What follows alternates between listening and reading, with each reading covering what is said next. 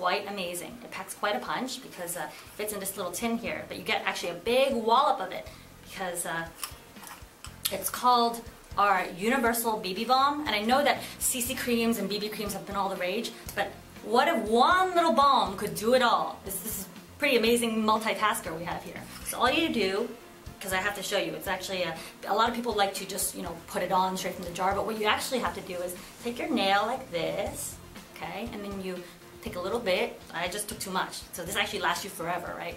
Um, and all you have to do is uh, rub it in between your fingers like that, and you just really make it emollient so it's all melted down.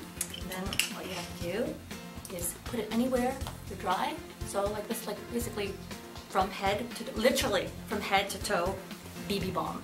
So what you do is you can put it on your lips, you can put it on your cuticles, you can put it just anywhere on your body, and then you're good to go. So we've actually come up with many different uses for it. We're actually thinking of having a contest so you guys can come up with more uses for it. So some of my mom friends tell me that it's really good on even baby rashes and since it's like paraben and sulfate free and also vegan free, it's you know great for in your purse. So uh, also a lot of my blogger friends have been trying it recently they've been raving about it and they think it's like really really quite the multitasker so again paraben sulfate free cruelty free vegan and uh, we don't test on animals and I think you will love our universal BB balm. It's the only balm of its kind in the world that does all these things. I swear you'll be amazed. You have to try it